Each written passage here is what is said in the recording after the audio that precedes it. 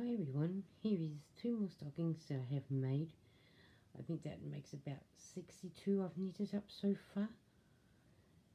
Please like, comment and subscribe. Thank you for watching.